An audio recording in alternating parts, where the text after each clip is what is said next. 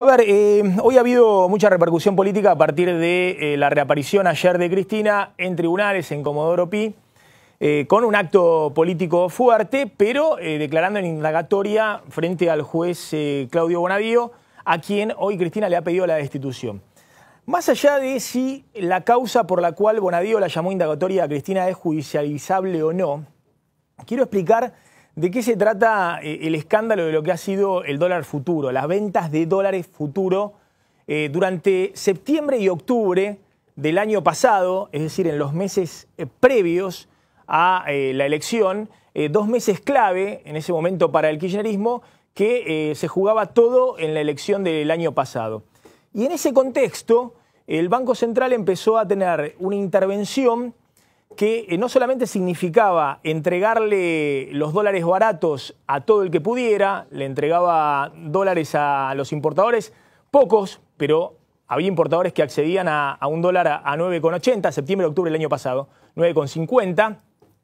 Le entregaba dólares a casi 12 pesos a los que eh, querían dólar ahorro y estaban comprando a razón de mil millones eh, de dólares por mes y le entregaba dólares a 13,60 a aquellos que se iban a hacer turismo al exterior y eh, el año pasado eh, se gastaron casi 9 mil millones de dólares de argentinos que viajaron al exterior con ese dólar de 13,60 porque tenía un recargo del 35%.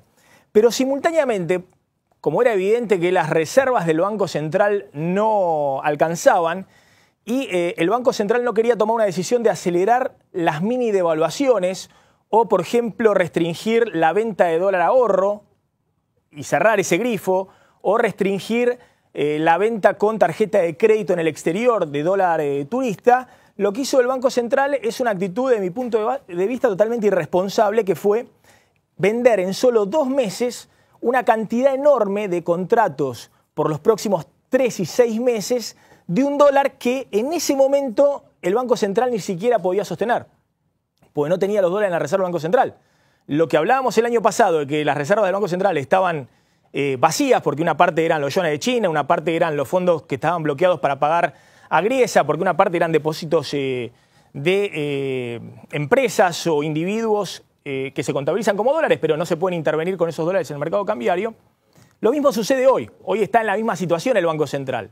Pero en aquel entonces estaba con un dólar muy barato, un dólar de 9.50, y sin embargo, para mantener eso hasta la elección por lo menos, pese a que antes de la primera vuelta incluso los economistas de Scioli le pedían que acelere las mini devaluaciones para, cuando pensaban que iba a ganar Scioli, para que no sea tan gravoso después salir eh, del dólar barato, el Banco Central vendió contratos a futuro de dólares muy baratos. Dólares que ni siquiera estaba vendiendo en ese entonces, porque el dólar ahorro lo estaba vendiendo a 12 pesos. Pero a fines de diciembre vendió contratos a 9,80, a fines de enero de este año a 10,28, a fines de febrero a 10,55, a fines de marzo, es decir, hasta hace unos días, a 10,83 el dólar, a fines de abril, es decir, cuando finalice este mes, a 11,8 centavos, ¿eh? y a fines de mayo a 11,40 centavos. ¿eh? Esos contratos, ¿qué significaba? Que el Banco Central había días que vendía mil millones de, dólares en contratos. Eran contratos que significaba que al día de la fecha de ese contrato, si el dólar oficial era superior al valor del dólar del contrato, el Banco Central le pone en pesos la diferencia a la empresa o el banco que suscribió esos contratos. Obviamente, las empresas y los bancos se tiraron en palomita a suscribir esos contratos, una demanda infernal en dos meses, septiembre y octubre se suscribieron casi 16 mil millones de dólares de contratos a futuro. ¿Por qué? Porque las empresas no les interesaba en ese momento el dólar billete, les interesaba cubrirse de que si había una devaluación, alguien le iba a poner la diferencia en pesos entre el tipo de cambio de ese entonces y el tipo de cambio futuro en el que se cerraba el contrato. El Banco Central tuvo esa actitud totalmente irresponsable de mi parte. Habrá que ver si es judicializable o no si eh, se violó o no la Carta Orgánica del Banco Central, es lo que está discutiendo Bonadío, pero no me meto en esa discusión, me meto en la cuestión básica de que por eso el Banco Central hoy está asumiendo un pasivo enorme, que se calcula en 60 mil millones de pesos. ¿Por qué? Porque en diciembre vencieron los contratos que decía que el Banco Central cubría la diferencia entre el dólar a fines de diciembre y 9,80, porque había vendido dólares baratos a 9,80, y el dólar a fines de diciembre estaba a 13 pesos. Está bien, devaluó Macri. No había forma, porque no tenía los dólares el Banco Central. La discusión era si eran 13 pesos, eran 12 pesos o eran 14 pesos, pero no había forma, porque ya en ese momento el Banco Central, en septiembre y octubre, sabía que no tenía los dólares para entregarla a todos. Podría haber restringido el dólar ahorro y el dólar paralelo hubiese subido, pero si al gobierno no le interesaba el dólar paralelo, podría haber hecho eso. Tenía otras estrategias, otros instrumentos.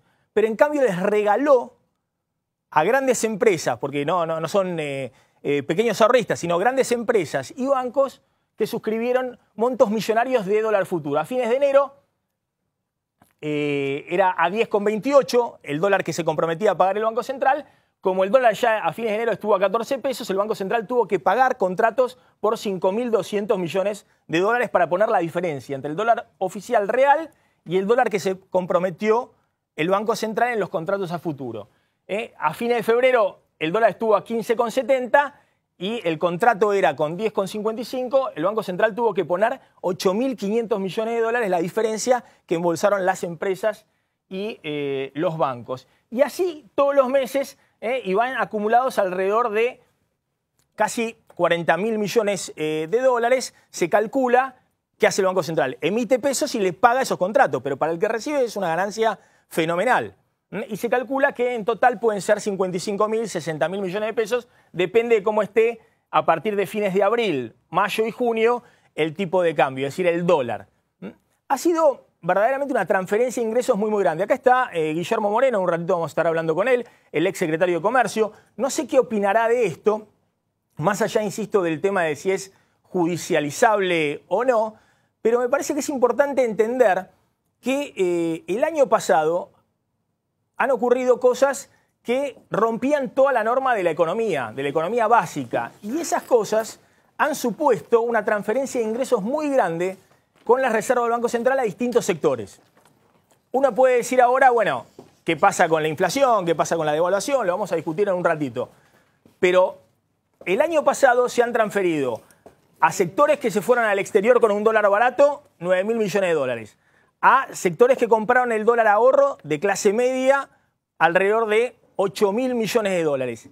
Y a un sector de bancos y grandes empresas que suscribieron estos contratos regalados de dólar futuro 60 mil millones de pesos eh, en los primeros meses de este año. Me parece que hay que ponerlo en perspectiva, digamos, porque en todo caso, si no hay una responsabilidad judicial, que eso se va a dirimir ahora eh, en los tribunales, hay claramente una responsabilidad o una irresponsabilidad política desde mi punto de vista total.